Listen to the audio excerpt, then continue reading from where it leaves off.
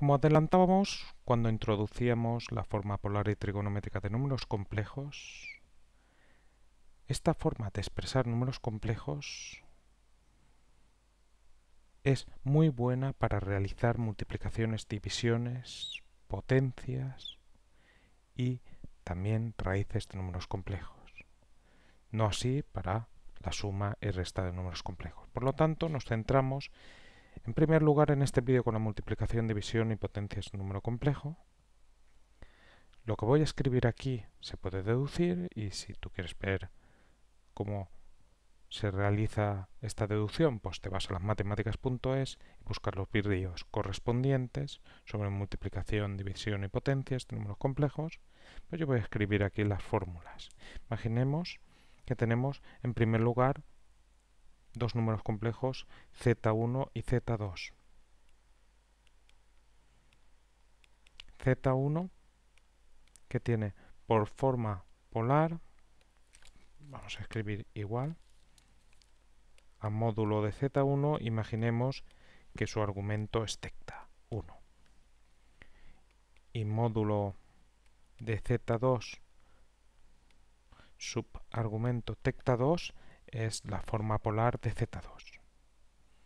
Entonces se tiene que el producto de z1 por z2 tiene por módulo el producto de los módulos de z1 y z2 y por argumento la suma de los argumentos. Como digo, esto se puede deducir y para ello al final se aplica la fórmula del seno de la suma de ángulos y del coseno de la suma de ángulos. Para la división, pues se tiene que tiene por módulo la división de los módulos. A escribirlo que arriba no se veía bien.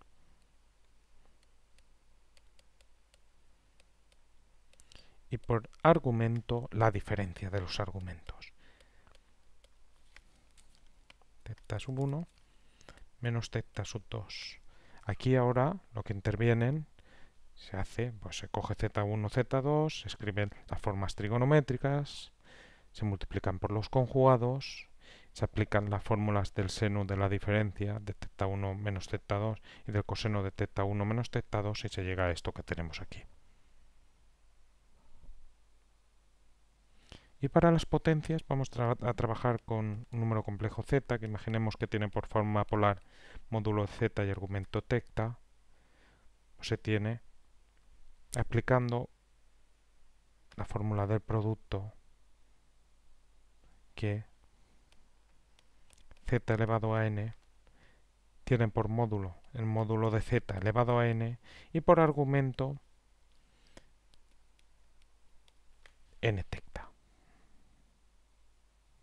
Esto se le conoce como la fórmula de Moubra, la fórmula que permite calcular potencias de números complejos expresados en forma polar. Y vamos a ver ejemplos.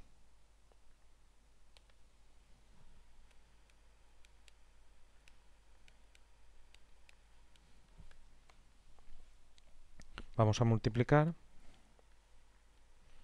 2 sub pi tercios por 5 sub pi cuartos. Bueno, como no están los números complejos en forma polar, daremos el resultado en forma polar. Y como sabemos, un producto de números complejos en forma polar, el resultado sería el producto de los módulos sub la suma de los argumentos. Esto sería 2 por 5, 10. Y ahora pi tercios más pi cuartos, podemos hacerlo aparte. Mínimo común múltiplo de 3 y 4 es 12. 12 entre 3, 4 por pi, 4pi. Y 12 entre 4, 3 por pi. Esto nos queda 7pi partido por 12. Bueno, pues ya está. módulo 10, argumento 7, pi partido por 12. Si ahora nos piden que calculemos la división de 6 sub 5 pi cuartos entre 2 sub 2 pi tercios, por ejemplo, pues esto sería resultado, módulo, cociente de los módulos, argumento, resta de los argumentos. 6 entre 2 es 3 y 5 pi cuarto menos 2 pi tercios.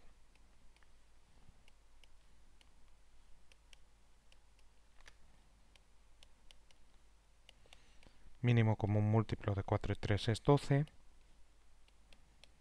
12 entre 4 3 por 5 pi 15 pi. Y 12 entre 3 es 4 por 2 pi 8 pi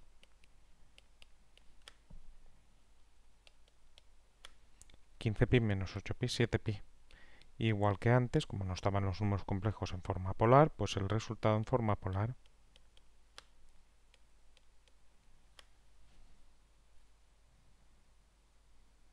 Seguimos. Ahora vamos a potencias y para ello vamos a ver dos resultados. Dos, dos ejemplos, quiero decir. En primer lugar, si queremos calcular 2 sub pi sexto elevado a 5, bueno, escribimos, como tenemos el número complejo en forma polar, el resultado en forma polar sería 2 elevado a 5 sub multiplicar por 5 el argumento. Pues ya está, 5 pi sextos sería el argumento. Y 2 elevado a 5 es 32, luego su número complejo sería 32 y argumento 5 pi sextos. Y por último, imaginemos que nos dicen que calculemos menos 1 menos i elevado a 8. Bueno, una opción sería pues, multiplicar menos 1 menos i por sí mismo 8 veces o hacer una agrupación de potencias de forma inteligente y obtener el resultado. Otra opción sería aplicando la fórmula del binomio de Newton, pero también podemos trabajar calculando la forma polar de menos 1 menos i y aplicando la fórmula de Moubra, o sea, la fórmula de potencia de un número complejo en forma polar. Vamos a hacerlo así y veremos cómo sale rápido. En primer lugar, menos 1 menos i es menos 1 más menos 1 por i. A este número complejo le asociamos el punto menos 1 menos 1. Menos 1 menos 1, lo dibujamos y estamos en el tercer cuadrante. Este sería el vector de posición del punto P. Y el argumento pertenece al tercer cuadrante. Bueno, antes de eso, pues si queremos, llamemos a este número complejo z y su módulo sería raíz cuadrada, la distancia del punto P al origen, o sea, módulo de ese vector de posición. Raíz cuadrada de cuadrado de la parte real más cuadrado de la parte imaginaria. 1 más 1, raíz de 2. Como sabemos, la tangente del argumento es igual a la parte real partido a la parte imaginaria, que es 1. Y teta pertenece al tercer cuadrante. Nos olvidamos ahora del tercer cuadrante y buscamos un ángulo alfa de primer cuadrante, que será el resultado de reducir tecta al primer cuadrante, tal que la tangente de alfa sea la misma que la tangente de tecta, pero con signo positivo. Ahí como está con signo positivo, pues 1 un ángulo tal que la tangente de alfa no esté igual a 1 de primer cuadrante es un ángulo que tiene el mismo seno que coseno. Como sabemos, en 45 grados el seno raíz de 2 partido 2, el coseno es raíz de 2 partido 2. Luego ese ángulo alfa sería 45 grados.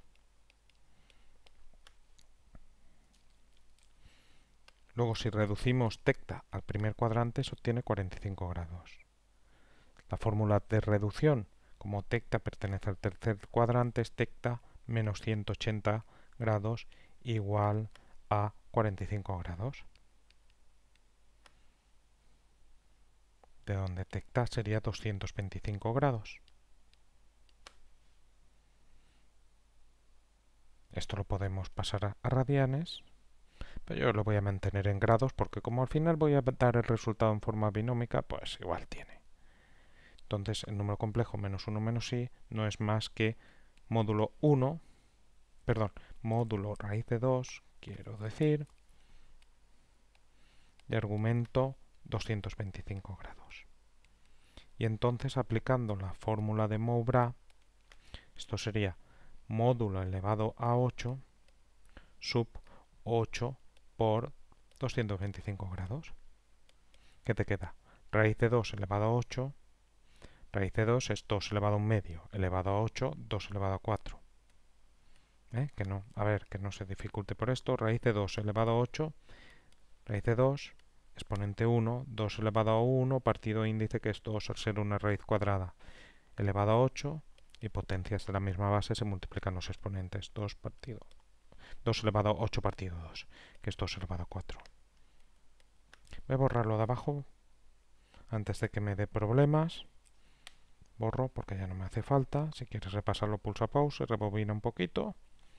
Borro todo esto.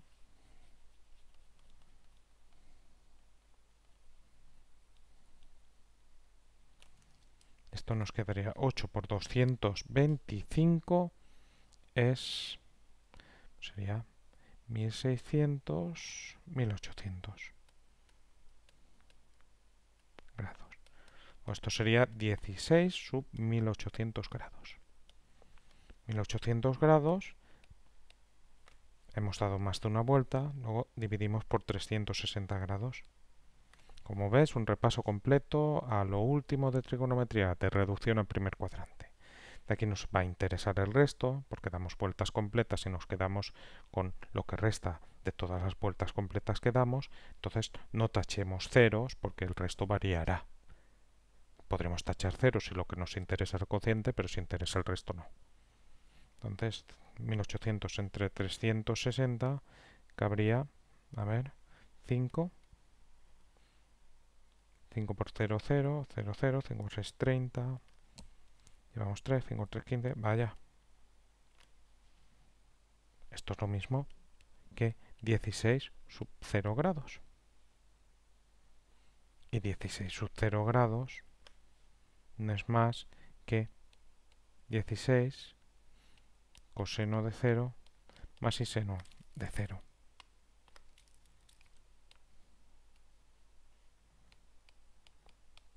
Coseno de 0 es 1.